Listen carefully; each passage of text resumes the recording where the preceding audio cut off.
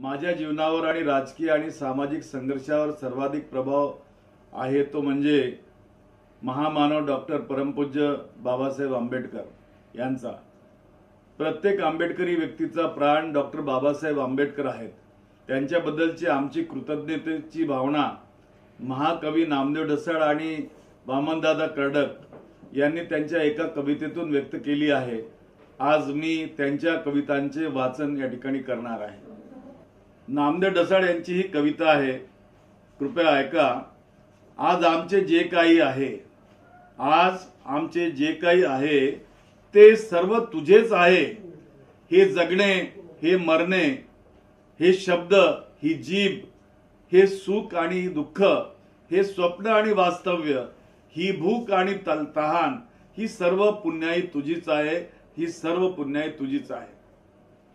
वामनदादा कडक म्हणतात भाजीत भीम आहे रोटीत भीम आहे आहे उपासपोटी कोटीत भीम आहे.